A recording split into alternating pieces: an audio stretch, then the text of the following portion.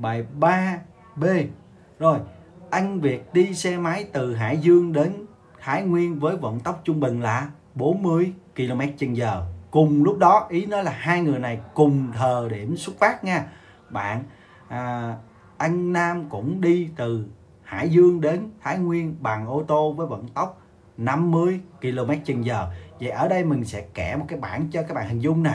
Thì ở đây có quãng đường nè vận tốc và à, dưới thời gian. Quãng đường vận tốc thời gian. Thì Việt và Nam cùng đi Hải Dương đến Thái Nguyên. Vậy quãng đường hai người này như nhau là đặt là ít. Thì đây cũng là ít. Đây là Việt đi nè đây là Nam đi nè. À, thì Việt đi vận tốc bao nhiêu à? 40 km còn Nam đi bao nhiêu à? 50 km.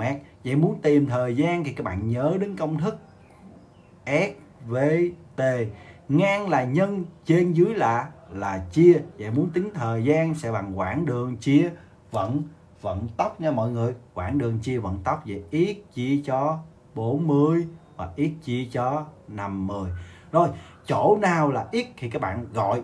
Vậy là gọi x là quãng đường quãng đường từ Hải Dương đến Thái Nguyên. Thái Nguyên, đơn vị là km và x lớn hơn hơn không.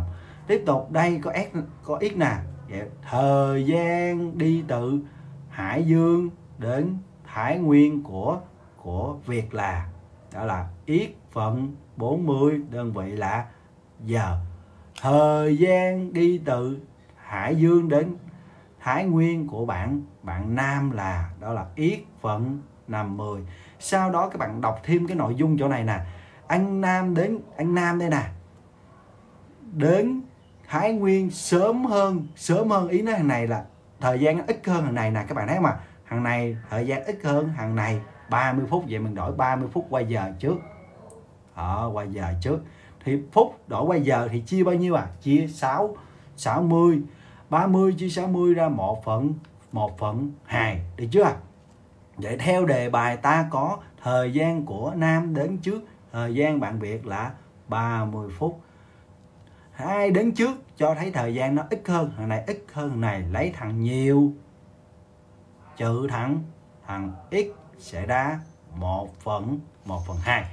Rồi, tới đây các bạn giải được chưa tới đây thì các bạn nếu bạn nào tính ý thì thấy x đặt làm nhân tử chung nè, mang ra còn lại 1 phần 40 trừ 1 phần 50 bằng 1 phần 2 nhân nè, chuyển qua thành thành chia vậy tương đương x bằng 1 phần 2 chia 1 phần 40 trừ 1 phần 50 và các bạn bấm máy tính ra giúp lợi xem kết quả bằng bao nhiêu vậy mọi người? Và các bạn kết luận được chưa?